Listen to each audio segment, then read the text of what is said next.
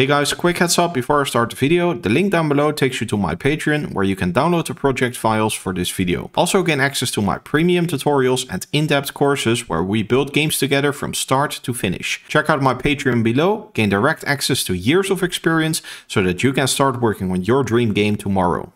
Hi guys and welcome to a new tutorial. So in this tutorial, I want to talk about what locally controlled means and how we can use that to our advantage uh, when it comes to like begin play. And then if you put a print string on begin play, you see that it fires hello a couple times, but it fires hello a couple times for all different classes. So for the character, let me just clearly show you this. We have a begin play event. Uh, and then how does this begin play event work? Well, let's say that we have us as the server, so the host, uh, and then we have our own character. So we're just going to type in one. So when I am just a server playing by myself and I uh, and, this is my character, then this character fires one begin play. Now let's say that we have a second player joining. So let's say that is client one. Then client one obviously also has a character. So if we say for this guy, this guy is two. Then this guy uh, sees himself in his instance and the server sees himself in his instance. So this guy will fire begin play for his own character. But of course, client one will also see the character of the server. And the server will also see the character of client one. So this is what happens inside of a character class. So basically, off of begin play, the server will fire hello for himself. So if we do a little print string here, print string, and put that to 15 seconds. Then we will see that if the server is just playing by himself, he will just say hello. Now, if there is a second player, then we see that the server will start to say hello and then also hello for the second player. And then when it comes to the client, the client will also say hello for himself and the server will say hello for himself. So um, why is this already important? Well, basically, let's say that we have begin play logic that sets up our character then what can happen is that the server is playing all by himself and then the server would have already fired off their own begin play to initialize their character. Now client number one here would connect to the game and then what we see is that client number one will fire its own version of the begin play for this character as well. And if that client then attempts to basically fire off setup logic, then we might not want it to happen because then uh, this one was already initialized and set up. So we don't want this client to do that for this character as well. So we only want this client to do that for themselves, basically. But another example is uh, when we look at the server here, when client one connects, then we can say that the server will do the begin play event for client 1. And client 1 will also do the begin play event for client 1. So now the setup logic that we would run off of begin play would be fired twice. It would be fired here and then by the client themselves.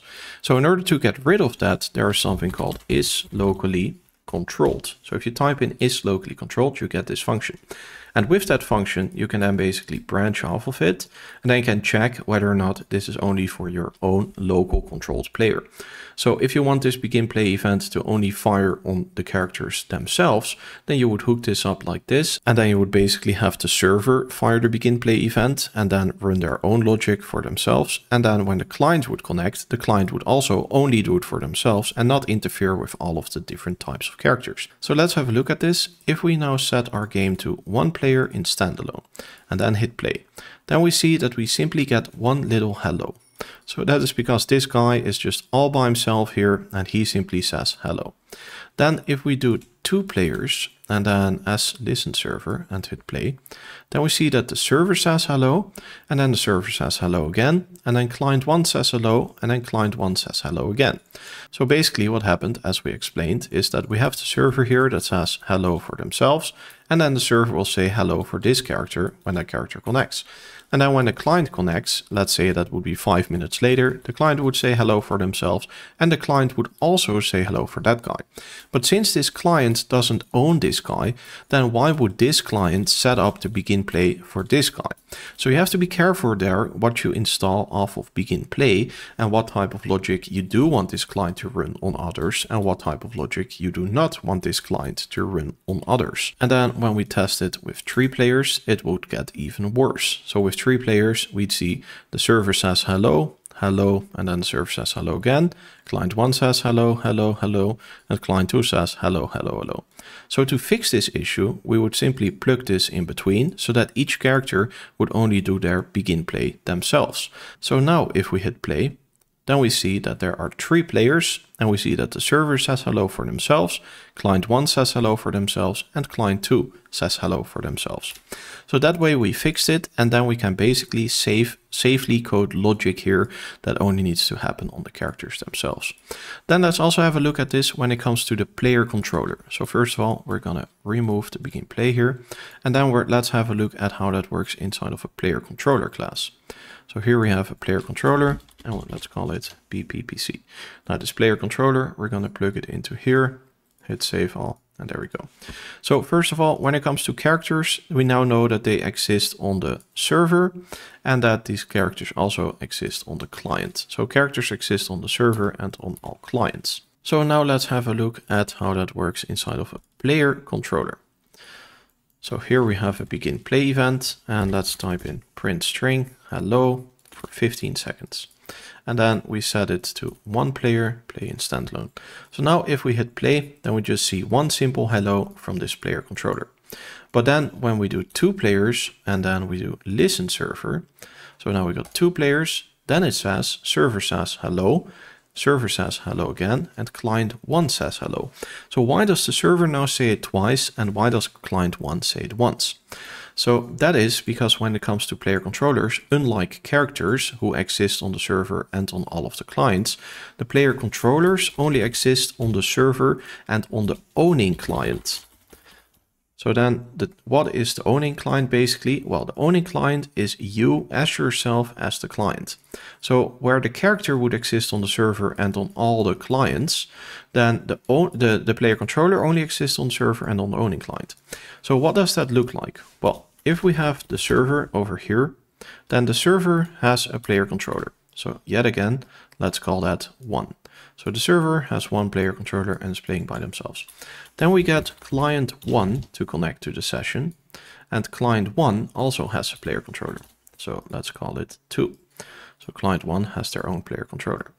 And then we have a third player and let's call him client 2. So client 1 and 2. And client 2 also has a player controller and let's call it 3. Then where previously with the character we would see that the that the client here would have all of these characters. So in the case with the character that there would be a client 2, so three players in total, then this guy would be a tree here. And then this would basically all be copied here as well. And all be copied here as well. So this is what it would look like for the characters. Everybody would have each other's copies. But now for the player controllers, it would basically look like this. So since it exists on owning client, this guy would only have their own. So this guy has his own. This guy has his own, but the server has both of them. So the server has their own and it has the others as well. So that is basically the reason that when we play it with two players, so with the server and with client one, that is why in that case we then see server says hello and says hello, and client one says hello once. So with three players, what we would now see is that the server says hello, hello, hello, and then client 1 says hello once, and client 2 says hello once. So if we do three players, we can validate that. And then we see the server says hello, hello, hello. And client 1 says hello once, client 2 says hello once. So where would this also be dangerous yet again if we just keep the begin play like this and start to hook up logic here such as setup logic or creating widgets. So let's say I create a widget some type of, type of a widget and I add it to the screen. Then in this case, Every time that a player would now connect, the server would set up the widget for, well, first of all, itself, and then for all of the other player controllers that are connecting. And then the clients would only set it up for themselves. So since we do not need the server setting up widgets for other clients, as an example, then we also here want to see if we are only the local version. So for that, in the player controller, we type in is local controller. Then we got two options, is local controller or is local player controller. So when we use the player controller here, then we can now say half of begin play true. And then let's go ahead and test this out. So what will happen now? Now the server will only say hello, this guy says hello, and this guy says hello. So if we now hit play, we see server says hello once, client says hello once, and client 2 says hello once. So for that one, we now see that we can now safely code our UI. This player will do it, this player will do it for themselves, this player does it only for themselves, and this player does it only for themselves. And that is basically what I wanted to teach you guys here when it comes to setting this type of stuff up. Alright, bye guys.